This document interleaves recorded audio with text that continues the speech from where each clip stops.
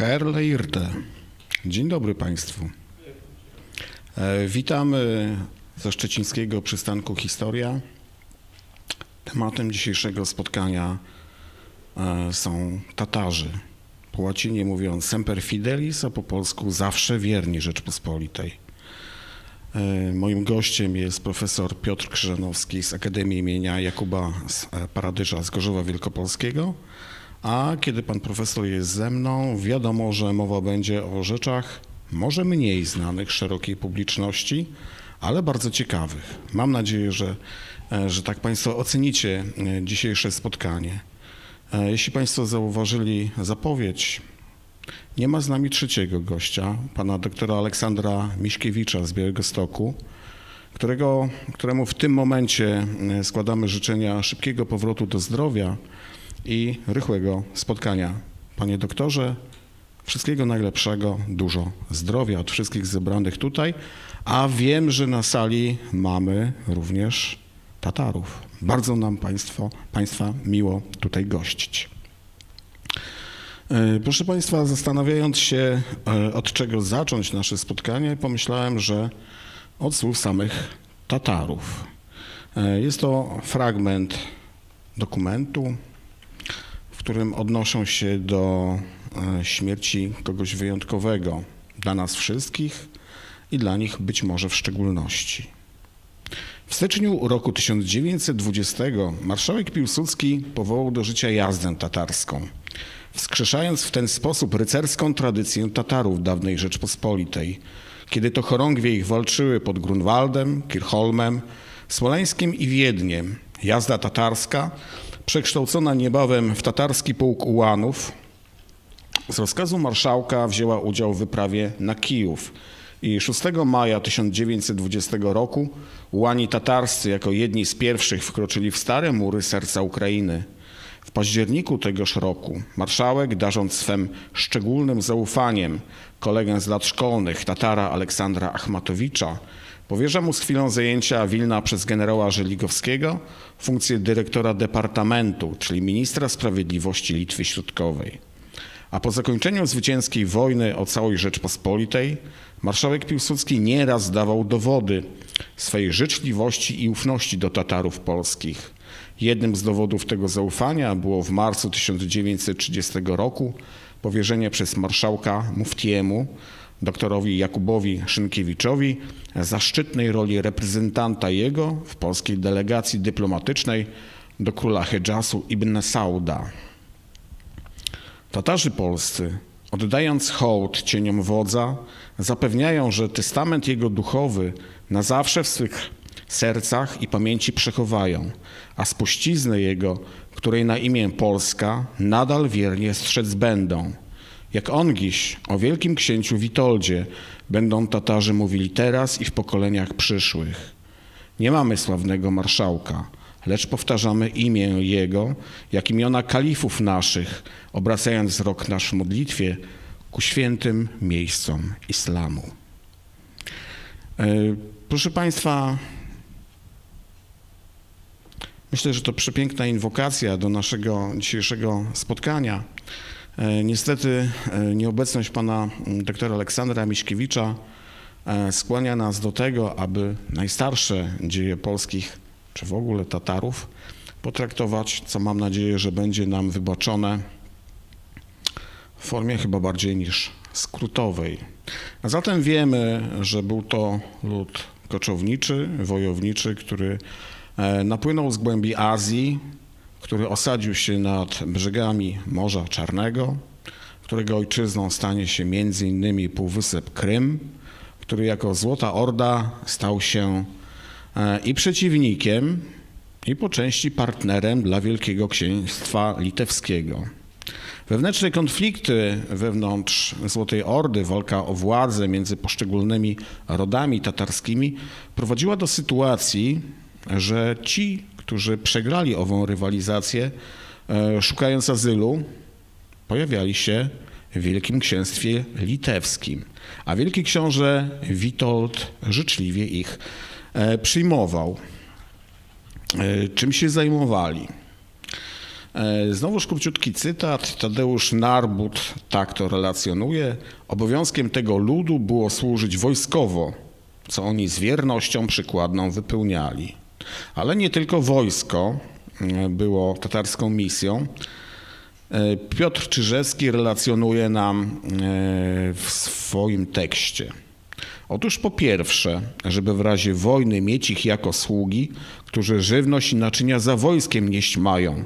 Po drugie, gdyby Witold Wilnie przemieszkiwał, to mieli mu dostarczać jarzyn, to jest cebuli, ogórków i innymi ogrodnymi rzeczami mieli księcia opatrywać. Po trzecie, aby z listami jako kurierowie chodzili, żeby gościńce, po których książę jeździ, naprawiali, mosty od Rudnik aż do Waki, sorok Tatar powinni naprawiać i nowe budować, na co i przywileje mają i te osiadłości sorok Tatary dlatego nadano. A zatem dostarczanie żywności na dwór wielkoksiążęcy, wyjątkowy, przyznajmy, objaw zaufania.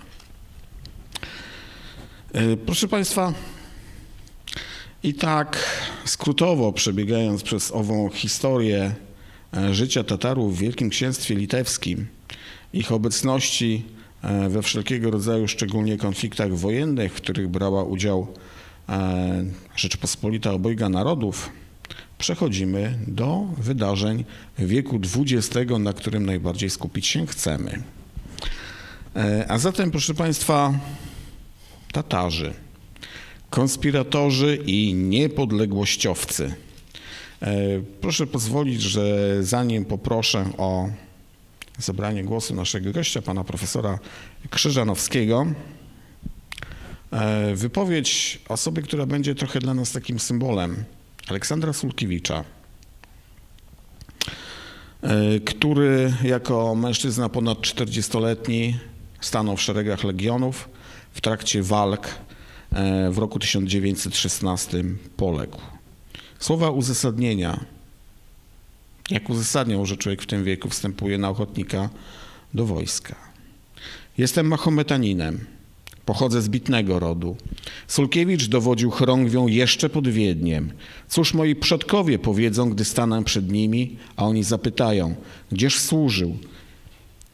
Jakieś walczył w czasie Wielkiej Wojny. Ja im zaś odpowiem, że był w intendenturze.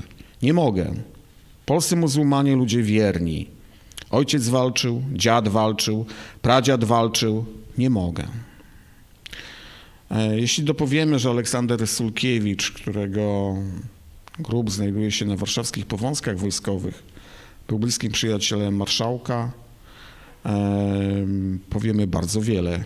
Panie profesorze, Daję głos. E, e, tak, e, ja myślę, że warto powiedzieć jeszcze jedną, jedną kwestię wyjaśnić, bo mówimy Tatarzy, ale przecież chodzi tutaj o Tatarów polskich i wymieniony już pan doktor mm, Aleksander Miśkiewicz przecież opracował słownik biograficzny Tatarów polskich XX wieku, prawda?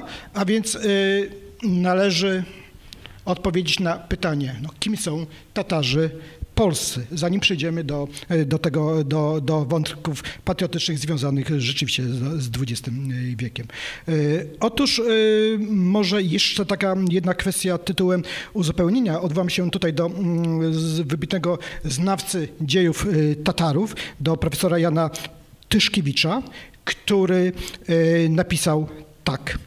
Kilkaset y, lat służby wojskowej od końca XIV do końca XVII wieku ukształtowało ich patriotyzm i gotowość walki o niepodległość, czego kolejne dowody dali polscy Tatarzy podczas wojen napoleońskich w powstaniu 1830 roku i 1863 roku, a później e, w nielegalnej działalności Polskiej Partii Socjalistycznej do roku 1918. I może jeszcze jedno zdanie. Tatarzy mm, zapytani o motywację do walki w służbie Rzeczypospolitej e, mieli odpowiadać ziemia polska, a na niej mogiły naszych przodków. I tutaj się odwołujemy, ja myślę, że, że po tym e, krótkim uzupełnieniu lepiej możemy zrozumieć no właśnie to, że stwierdzenie, że Tatarzy byli wierni Rzeczypospolitej. Ale pamiętajmy przecież jeszcze, że od połowy XVII wieku chorągwie tatarskie były przecież ważnym elementem uzupełnienia oręża polskiego. I może po tym uzupełnieniu chciałbym przejść właśnie do e, odpowiedzi na to pytanie Tatarzy polscy. I tutaj w tym miejscu odwołam się do e, pani doktor Karoliny Radłowskiej z Uniwersytetu Białostockiego, autorki książki e, Tatarzy polscy.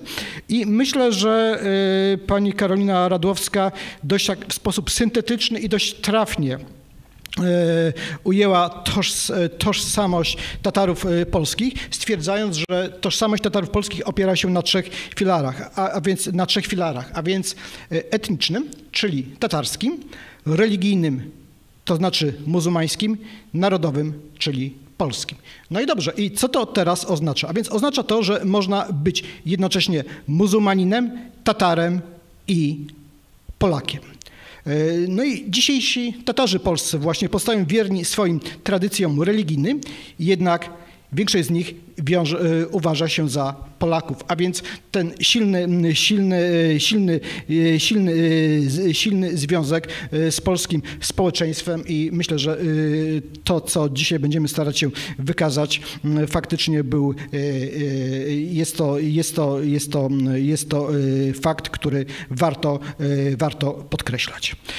Ale przejdźmy do XX wieku. No właśnie, do, do e, Aleksandra Sulkiewicza, e, przyjaciela, przyjaciela Józefa Piłsudskiego i bohatera e, Tatarów polskich.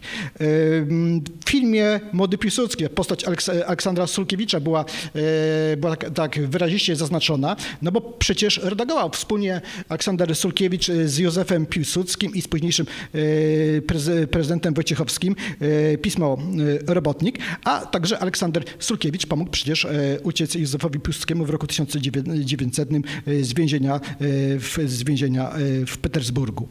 I Aleksander Sulkiewicz bierze udział w bitwie mm, pod Kostiunówką. Może tak, może zdjęcie Aleksandra Sulkiewicza. No właśnie, to jest, to jest, to jest postać, postać, nie wiem czy jest widoczna, tak? Aleksander, postać Aleksandra Sulkiewicza. Natomiast Aleksander mm, Sulkiewicz e, mm, zginął e, podczas walk pod Sitowiczami 18 września 1916 roku. E, i na życzenie marszałka Piłsudskiego. E, Piłsudskiego jego zwłoki zostały, zostały właśnie przewiezione, e, przewiezione do Warszawy i w listopadzie 1935 roku odbył się w Warszawie z honorami wojskowymi pogrzeb, e, pogrzeb Aleksandra Sulkiewicza. Jeszcze raz warto podkreślić, no, najbliższy współpracownik Józefa Piłsudskiego. Może jeszcze tutaj zdjęcie właśnie, o, to jest to, jest, to, jest to, to zdjęcie z tych uroczystości właśnie pogrzebowych Centrum mm, Warszawy 1935 mm, rok.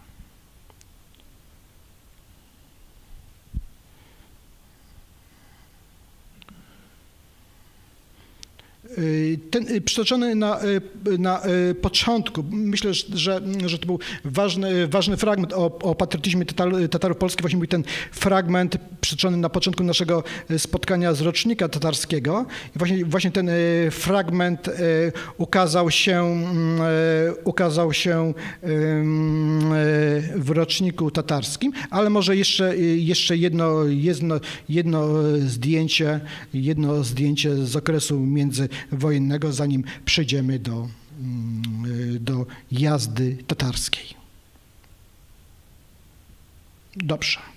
Y, I y, etap budowy y, niepodległego państwa po 123 latach zaborów. Tatarzy polscy, przechodzimy tutaj już do niepodległej.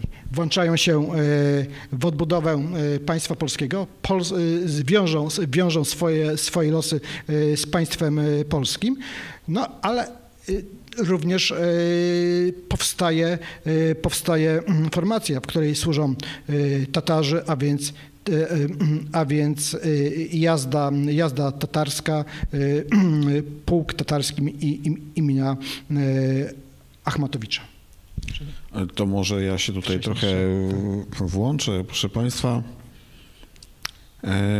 czy jeśli chodzi o historię naszej wojskowości, jest inne słowo, które jak gdyby bardziej nam się wiąże z, ze sławnymi dziejami polskiej kawalerii, jak ułan?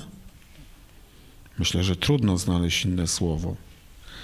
E, proszę Państwa, no więc e, zastanawiając się nad pochodzeniem tego słowa, to słowo pochodzenia tatarskiego może oznaczać młodego człowieka, junaka, a może się też wiązać z postacią pułkownika Mohameda Ułana, który właśnie w czasach jeszcze króla Stefana Batorego służył w wojskach Rzeczpospolitej. Przy czym trzeba sobie powiedzieć, że mm, skąd Ułani? No a skąd Lisowczycy, drodzy Państwo? No od dowództwy e, przyjmuje się nazwę żołnierzy. Lisowczycy i Ułani. E, proszę Państwa, zanim jeszcze oddam e, głos panu profesorowi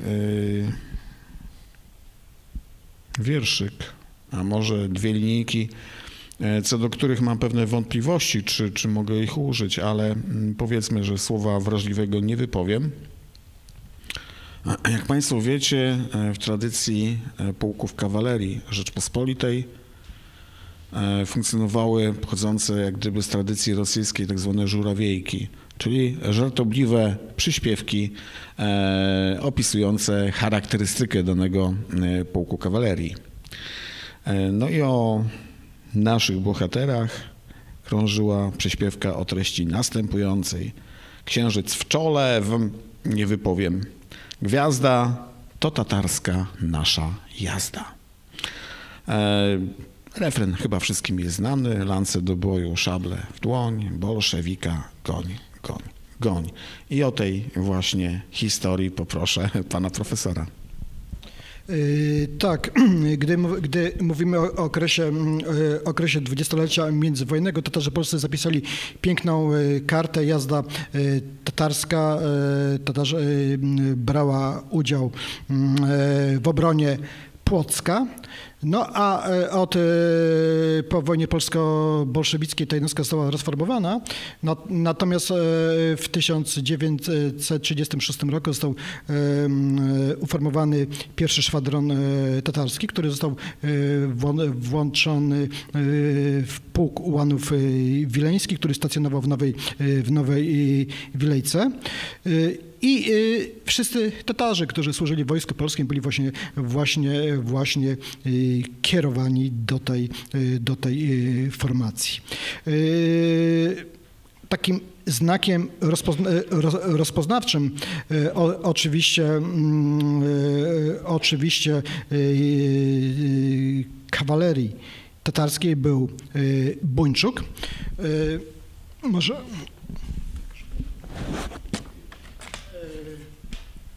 Akurat Bończuk jest przedstawiony tutaj w części, w części tej, tej okładki Tatarzy i Karemi w stulecie odzyskania niepodległości i proszę zwrócić uwagę oczywiście yy, półksiężyc, tak, ale i też, yy, też symbol, yy, też kolor zielony, znak islamu, ale też również biało-czerwony, świadczący o przywiązaniu Tatarów do Rzeczy Pospolitej.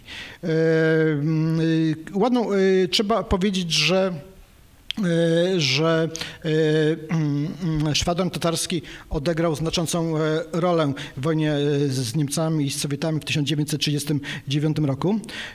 Z część, części z żołnierzy z tego szwadronu udało się przedostać na Litwę, natomiast część trafiła do sowieckiej niewoli i trudno mówić o wszystkich życiorysach. Ja powiem tylko o jednej oso osobie Mustafa Abramowicz, ostatni, e, ostatni mm, e, właśnie ułan e, szwadronu, szwadronu tatarskiego, zmarł w, 2000, w kwietniu 2018 roku w Manchesterze.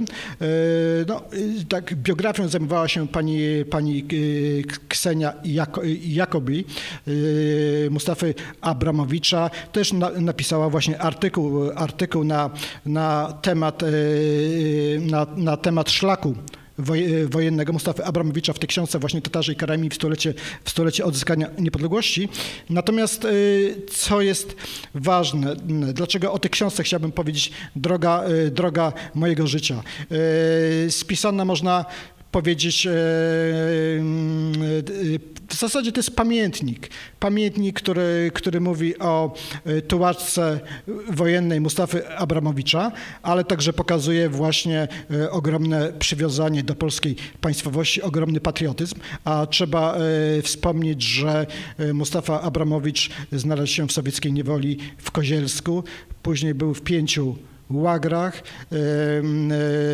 z wojskiem generała Andersa e, wydostał się ze Związku Sowieckiego, no i przeszedł z drugim, z drugim korpusem cały szlak wojenny, walczył, walczył, pod, walczył, walczył pod Monte Cassino, w walkach o Bolonię został, został ranny, służył w pierwszym pułku w, pier, w pierwszym pułku ułanów Krechowieckich, który wchodzi w skład drugiej dywizji, drugiej warszawskiej dywizji, dywizji pancernej.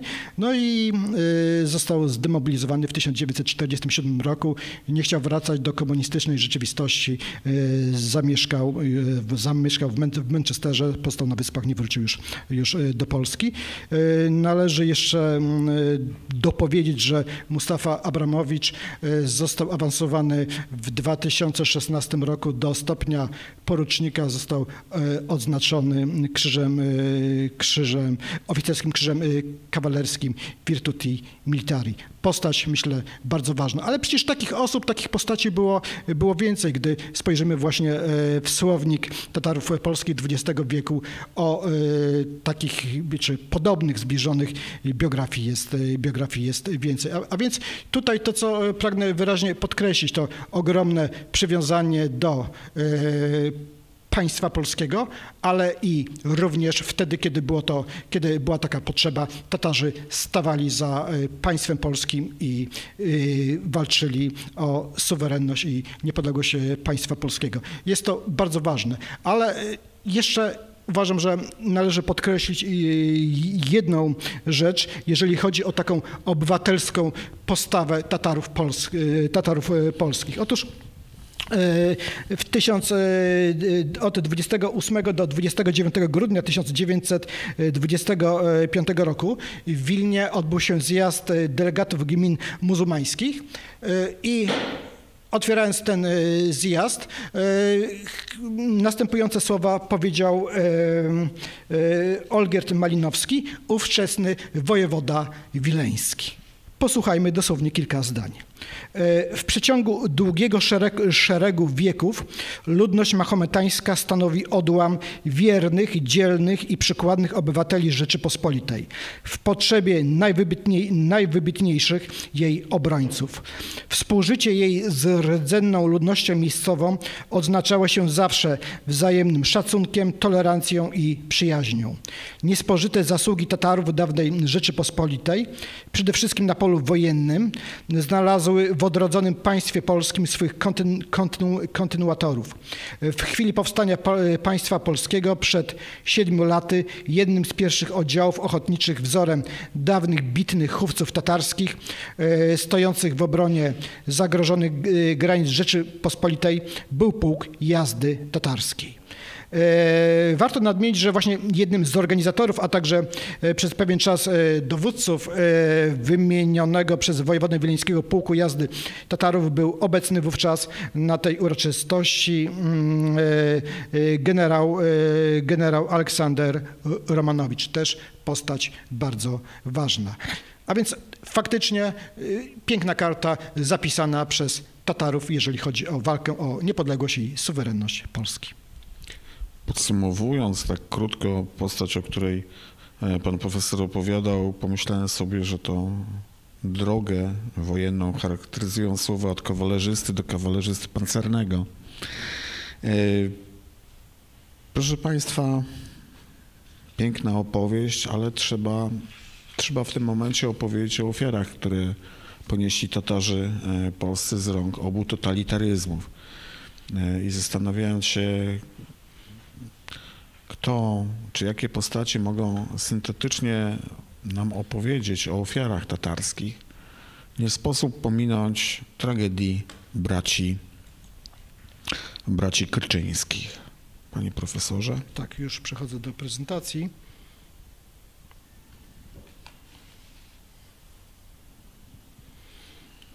Dobrze. Y, y, tak, tutaj y, też wątek lokalny, o którym chciałbym powiedzieć i muszę powiedzieć, że, że, że, tak osobiście, w jakiś sposób mocno przeżyłem to, ponieważ ta wiedza, wiedza o mm, związkach Tatarów polskich z państwem polskim w okresie rządów komunistycznych, mm, komunistycznych nie była znana po prostu.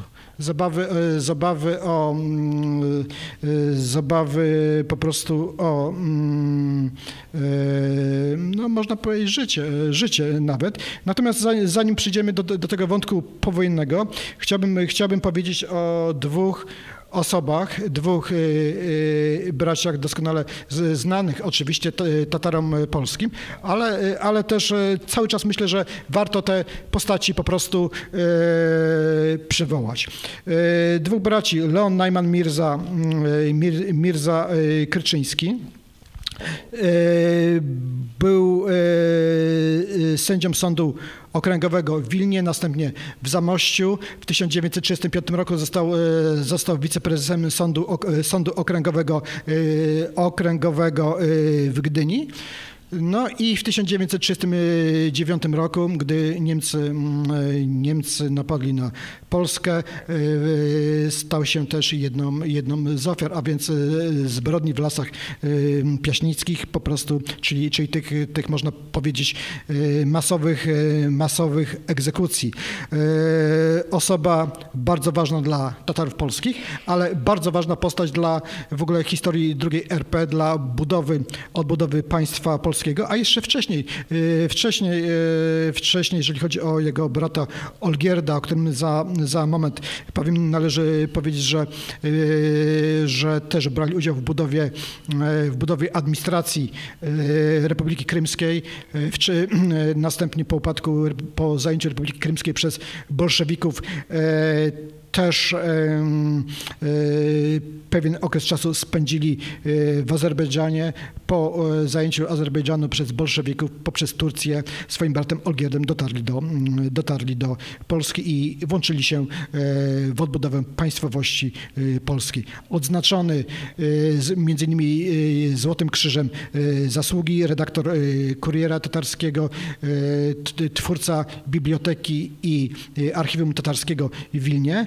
E, a e, też e, niedawno, znaczy w ramach obchodów stulecia, stulecia odzyskania niepodległości został uhonorowany pośmiertnie oznaczony Orderem Orła Białego. Postać bardzo ważna, osoba, która zginęła z rąk hitlerowskiego najeźdźcy. No i tutaj widzimy dwóch braci, właśnie Leon, Leon Najman Mirza Kryczyński i Olgierd Najman Mirza Kryczyński. Z kolei Olgierd, Gerd Najman Mirza Kryczyński też postać tragiczna.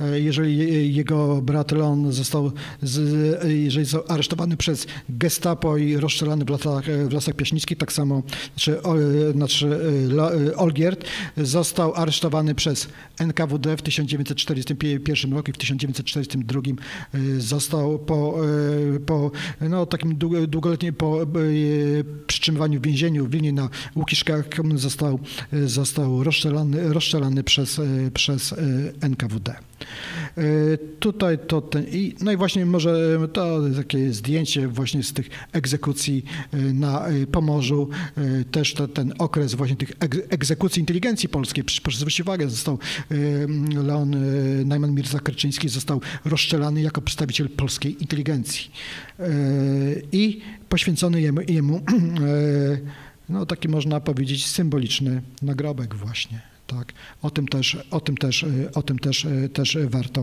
warto powiedzieć. Natomiast jeżeli chodzi, jeżeli chodzi o jego brata Olgierda, Najman Mirze, Mirze Kryczyńskiego. Olgierd Najman Mirza Kryczyński przyjął obywatelstwo litewskie. Licząc, że w ten sposób uniknie aresztowania przez NKWD, no jakże okazał się tragiczny los. No proszę spojrzeć też, też postać na, na przykład Eugeniusza Bodo, który przecież posiadał paszport szwajcarski, licząc, że to jego uratuje, prawda, prawda przed, przed, przed egzekucją z ręki Sowietów. Okazało się inaczej i podobnie tutaj podobna sytuacja była w przypadku Olgierda Najman Mirzy Kryczyńskiego. A więc dwaj bracia, ogromne zasługi dla Tatarów polskich, ogromne zasługi dla państwa polskiego, można powiedzieć elita drugiej RP i jeden zginął z rąk, z rąk Niemców, a drugi z rąk, a drugi z rąk Sowietów. Ale proszę państwa, historia dopisuje dalszy ciąg. W Gorzowie Wielkopolskim mieszka i ja miałem, no, chcę powiedzieć, zaszczyt rozmawiać z synem Olgierda Najman Mirzy Kryczyńskiego, Selimem Kryczyńskim, który, który podczas rozmowy ze mną powiedział tak. Ja może przytoczę drobny fragment. Ten fragment został opublikowany w nurcie SWD w artykule, który napisałem wspólnie z panem doktorem Aleksandrem Miśkiewiczem, ale krótka, krótki fragment z wypowiedzi właśnie syna, syna Olgierda, a więc Selima Kryczyńskiego. Ojciec mój był prokuratorem Sądu Najwyższego w Warszawie. Krótko po moim urodzeniu ojciec na własną prośbę przeniósł się do Wilna. Kiedy wojna wybuchła, ojciec obawiał się aresztowania. Przyjął obywatelstwo litewskie, ale to niestety stało się przyczyną jego śmierci. Jako obywatela litewskiego nie objęła go amnestia ogłoszona na mocy porozumienia Sikorski-Majskiej z lipca 1941 roku. Mój ojciec został aresztowany w lutym 1941 roku. Więziony był w Wilnie w więzieniu na Łukiszkach, a kiedy Niemcy rozpoczęli wojnę z Sowietami w czerwcu 1941 roku, ojciec mój został wywieziony do miejscowości Gorki, wcześniej Niżny Nowogród. Tam też więziony był do czerwca 1942 roku, do momentu wykonania wyroku śmierci przez rozstrzelanie. Ojca mego uznano za wroga Związku Radzieckiego. I tutaj trzeba dodać jeszcze informację, którą, którą uzyskałem od właśnie Selima Kryczyńskiego, że w 1989 roku Selim Kryczyński stwierdził, mój ojciec został zrehabilitowany przez władze Litewskiej Socjalistycznej Republiki Radzieckiej. Jakie zarzuty NKWD postawiło Olgierdowi Najman Mirzie Krczyńskiemu? Takie, że był tatarskim nacjonalistą, polskim nacjonalistą, że brał udział w postępowaniach, w postępowaniach karnych skierowanych przeciwko komunistom, ale również to, że, że, że współpracował, współpracował z polskim wywiadem. Tutaj trzeba powiedzieć, że ci dwaj bracia, Olgierd i, i, i Leon, no też byli współpracownikami polskiej dyplomacji, polskiego Ministerstwa Spraw Zagranicznych, jeżeli chodziło o kontakty z krajami, z krajami muzułmańskimi. Piękna karta, ale myślę jakże tragiczna. Proszę Państwa, koniec II wojny światowej, tak jak dla wszystkich polskich mieszkańców Kresów, przyniósł ogromne zmiany również dla, dla Tatarów. Znaleźli się w niełatwej sytuacji, którą najlepiej oddamy poprzez oddanie głosu im samym. Proszę posłuchać. Po wojnie to w 1946 roku dziadkowie mieli ultimatum. Przejść pod obywatelstwo ZSSR lub wysiedlenie na tereny odzyskane. Z tym, że mieli na tę decyzję tydzień. Także w ciągu tygodnia mieli ultimatum, że przechodzą, znaczy podpisują obywatelstwo ZSSR lub w ciągu tygodnia wyjeżdżają na ziemię odzyskane do Polski. A jeżeli nie, to Sybir. Także wybór był dość prosty. No i dialogi owych czasów. No ja tam pamiętam, że ojciec poszedł załatwiać wszystkie sprawy. Oni nie chcieli puścić. Oni mówią, piszy się Bielarus i tego. A ojciec mówi, ja nie żadny Bielarus, ja jestem Tatar. Ale ja mówi, urodził się w Polsce, jestem Polakiem i pojadę. Proszę Państwa, jak było na ziemiach zachodnich? I zanim naukowo opowiem nam o tym pan profesor Krzyżanowski, e, to ja pozwolę sobie jeszcze na krótko dać głos świadkom tamtych wydarzeń. Początkowo to było bardzo ciężko, tak jak opowiadałem, bo to nic nie można było kupić. Nic nie można było. Po prostu dostać. No nie było nic. Może polskich rodzin tam na dwóch rękach można było policzyć. Było. Także sami Ruscy albo Niemcy. I dużo tych, jak to mówią, szabrowników. I to było największą plagą, bo oni w nocy to przyjeżdżali, mieli samochody. Strzelanina była tak, że strach było wyjść w nocy na zewnątrz. Także no, dziki zachód taki był, dosłownie. I to trwało trochę, przez jakiś czas. Później już zaczęło się trochę, sklep tam, piekarnię otworzyli. Tak się zaczęło życie powoli normalizować. Panie profesorze? Y, tak, y, tutaj jeszcze jedną rzecz chciałbym dopowiedzieć, jeżeli chodzi o okres międzywojenny, dwa takie największe skupiska w drugiej e, RP, e, Tatarów e, polskich, polskich a więc było, to Wilno i był to, no, i był to Nowogródek. I tak jak zostało wspomniane, no, Tatarzy polscy stanęli przed alternatywą albo przyjąć sowieckie obywatelstwo z pełnymi konsekwencjami, albo w ramach tak zwanej repatriacji udać się do e, powojny Polski, do Polski w nowych, w nowych e, granicach. Ja e, rozmawiając niekiedy słyszałem takie wypowiedzi, czym dalej od sowieckiej, wydawało nam się wówczas, że czym dalej od sowieckiej granicy, tym, tym lepiej dla nas. Tak to się stało, że właśnie mm, e, ziemie północno-zachodniej e, Polski e, stały się terenem osadnictwa dla Tatarów e, polskich. Ja może wymienię tylko, e, tylko niektóre miejscowości. Oczywiście jesteśmy w Szczecinie, a więc Szczecin, ale również działała przecież tutaj e, muzułmańska gmina wyznaniowa pod przewodnictwem, trzeba wspomnieć, ojca doktora Aleksandra Miśkiewicza, Ibrahama Miśkiewicza. Działała gmina, gmina muzułmańska w Gorzowie Wielkopolskim, no, w której też przewodniczącym w latach 1984-93 był, był pan doktor Aleksander Aleksander y, Miśkiewicz, y, następnie po nim pani Rosalia y, Aleksandrowicz. Natomiast także Czcianka, Wałcz. Oczywiście zachodzi, nasuwa się, się pytanie, no, jak liczne to były, to, jak liczna to była grupa, więc w poszczególnych miejscowościach od kilkunastu do kilkudziesięciu osób. Jeżeli chodzi o Gorzów Wielkopolski, padają takie liczby 150 osób, nawet chyba taka największa liczba 400 osób.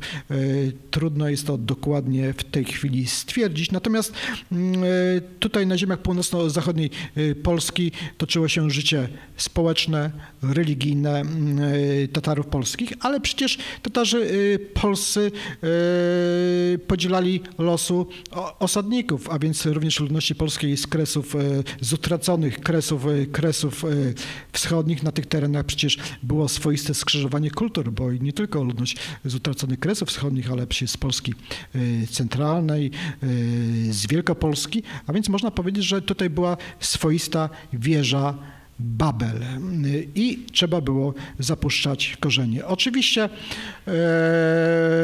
wydawało się, że e, e, każdy miał świadomość, że zamieszkanie na ziemiach północno-zachodniej Polski no, nie jest do końca takie, takie pewne. Zawsze była ta obawa, no, jak będzie z tą granicą, a może znowu Niemcy wejdą, walizki były, były długo nierozpakowane, nie, nie ale trzeba było przecież jakoś żyć. Przychodziły tutaj e, na świat y, dzieci, umierali starsi znowu, znowu, a więc e, trzeba było w jakiś sposób, e, w jakiś sposób podjąć życie na tych ziemiach zachodnich. No i Tatarzy, e, Tatarzy włączali się, włączali się również to, co jest bardzo ważne, w odbudowę, w odbudowę tych ziem, w polską, w polską, historię, w polską historię tych, tych ziem. To było bardzo, bardzo ważne. Natomiast jeżeli chodzi o, o Tatarów mm, z Nowogródka, to Tatarzy duża grupa zamieszkała właśnie w Gorzowie Wielkopolskim do dnia dzisiejszego. E, jest rejon miasta nazywany tatarskimi górkami. Rzeczywiście ten widok na, na Dolinę Wart może, może przypominać mm, widok z, z ziemi, ziemi nowogródzkiej. No i może postać bardzo ważna, bardzo ważna. Widzimy właśnie tutaj, tutaj zdjęcie, mm, zdjęcie z tego, z tego, z tego okresu, ale i też może jedna osoba Y, no właśnie, Imam Bekir Radkiewicz, postać bardzo ważna, która można powiedzieć, że on y, tutaj po prostu y, przywiódł do Gorzowa Wielkopolskiego swoich, swoich wiernych. Postać bardzo ważna dla Tatarów na ziemiach zachodnich.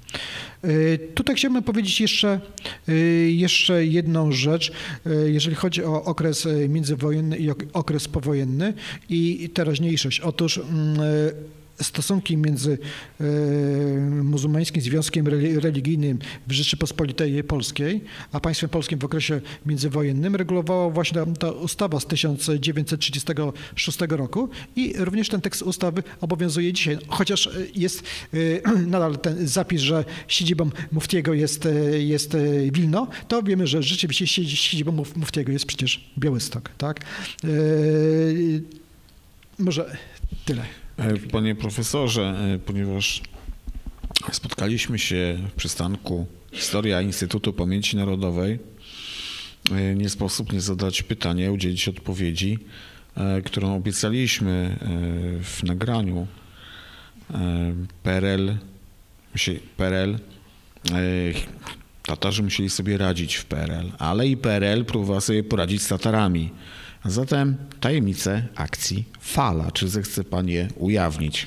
E, tak, e, tym bardziej, że znajdujemy się w przystanku Historia IPN, a właśnie w książce Tatarzy w Polsce po 1945 roku Historia, religia, tożsamość. W tej książce jest, jest zawarty mój tekst na temat e,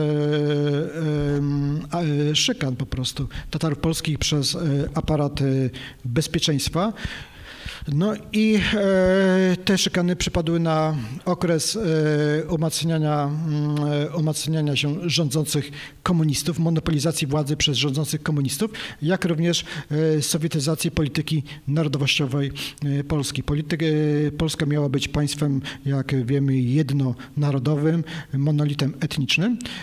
Natomiast wobec Tatarów polskich tak jak i w stosunku do innych grup narodowych, y, zostały podjęte działania represyjne.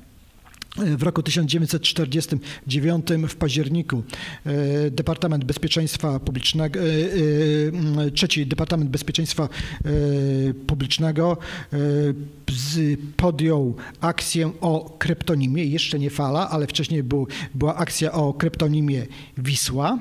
No, komuniści lubili właśnie, nie wiem czemu ten właśnie, właśnie przymiotnik Wisła no, może się kojarzyć nam. Nie, tutaj nie ma żadnej pomyłki, jeżeli chodzi o przymusowe przesiedlenia Ukraińców i Łemków. Również ten pseudonim, taki, taki kryptonim dotyczył, dotyczył tej akcji podjętej wobec Tatarów e, polskich. O co tutaj chodziło? A więc e, rządzący komuniści naznaczyli Tatarów polskich, znaczy mo, mo, można powiedzieć, że wystawili rachunek po prostu Tatarom polskim za wierność właśnie drugiej RP. Otóż Tatarzy polscy zostali naznaczeni. Taką tezę próbowano w tych archiwaliach po prostu wyraźnie wybija taka teza, że Tatarzy byli mm, e, nacjonalistami współpracującymi z niemieckim okupantem. Oczywiście trzeba było to było w jakiś sposób udowodnić.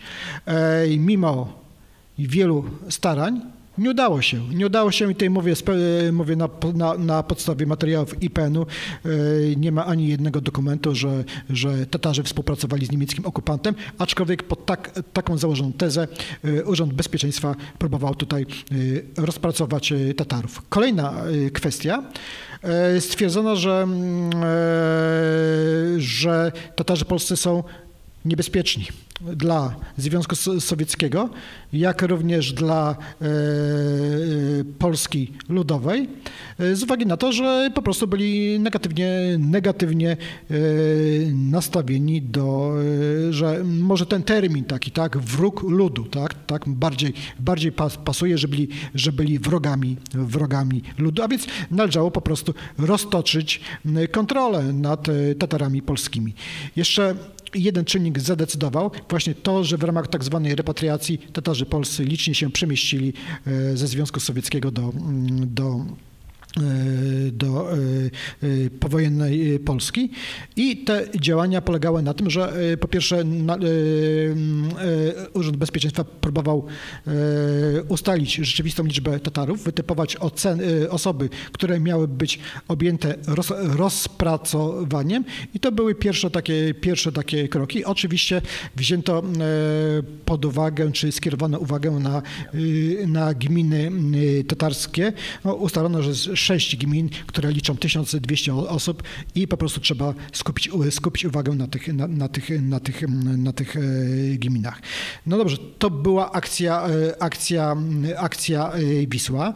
Ta akcja Wisła trwała więcej do 53 roku, natomiast w, w, na początku, w 54 roku w ręce, w ręce aparatu komunistycznego, aparatu represji wpadły dokumenty polskiego wywiadu, y, które y, mówiły o działalności y, Komitetu Tatarskiego w Wilnie, także o, mm, o mm, działalności Towarzystwa Promateusz oraz Orientalnego Koła Młodych. I wtedy właśnie została podjęta akcja, kolejna, druga akcja przez aparat, komunistyczny aparat represji. Tym razem ta akcja miała kryptonim Fala i e, po prostu postanowiono inwigilować rodziny tatarskie, ale e, tutaj trochę pod innym kierunkiem, ponieważ Tatarzy posiadali e, rodziny na zachodzie, państwach kapitalistycznych na zachodzie Europy, a więc po prostu e, sprawdzano korespondencję e, i e, tutaj się pojawiała się w tych dokumentach taka nowa narracja, że Tatarzy generalnie są takim, cytuję, tak to, to w cudzysłów, elementem szpiegowskim, a więc tutaj trzeba pod kątem współpracy z obcymi wywiadami badać społeczność tatarską. Doszło do tego, że w ramach tych działań operacyjnych wysłano nawet no, na, znaczy pozyskano współpracowników. Ja może szczegółów tutaj nie chcę mówić, ponieważ e, opisem dość szeroko w tekście, e, w artykule zamieszczonym w książce, natomiast e, też do Gorzowa mm, dotarł tajny współpracownik o, o pseudonimie Andrzej, który, który próbował, no właśnie, rozpracować tych Tatarów w Gorzowie Wielkopolskim. Nie udało się, nie udało się to. W rezultacie te działania, trzeba powiedzieć, komunistycznego aparatu represji wobec Tatarów no, nie, nie dało oczekiwanego wyniku. Stwierdzono, że, e, że Tatarzy nie prowadzą wrogiej działalności przeciwko, mm, przeciwko państwu, e, przeciwko Polsce Ludowej, a tym bardziej nie potwierdziły się te e, przyjęte, przyjęte tezy, że, że, że, że, że, że, że, że jest to grupa, która, która prowadzi jakąś, jakąś, jakąś działalność szpiegowską. Ta akcja Fala została zamknięta w 1965 roku. A więc to takie działania represyjne y, y, skierowane na społeczność Tatarów polskich no, trwały od roku 1900, od początku 1950 roku do 1965 roku. Panie profesorze, ponieważ musimy zmierzać ku finałowi naszej rozmowy, ale nie spotkania z państwem. E, chciałbym prosić o takie syntetyczne próby odpowiedzi na pytanie Tatarzy, współczesność i przyszłość Rzeczpospolitej, tej współczesnej? E, ja myślę, że o współczesności będziemy jeszcze, proszę Państwa, mówić w Gorzowie Wielkopolskim 25 e, sierpnia bieżącego e, roku, gdy będziemy mieli przedstawicieli Tatarów z całej Polski w jednym miejscu. No, z uwagi na konferencję poświęconą obecności Tatarów na ziemiach północno-zachodniej Polski i oczywiście związaną y, z promocją tej y, książki. Akurat gorący egzemplarz posiadamy z sobą. Tatarzy na ziemiach zachodnich i północnych Polski po 1945 y, roku, a więc myślę, że ja jestem zwolennikiem tego, żeby zawsze przedstawiciele mniejszości narodowych mówili własnym głosem o, o sobie, e, a więc, e, a, a, więc myślę, że, że, że ten wątek rozwiniemy e, w Gorzowie Wielkopolskim.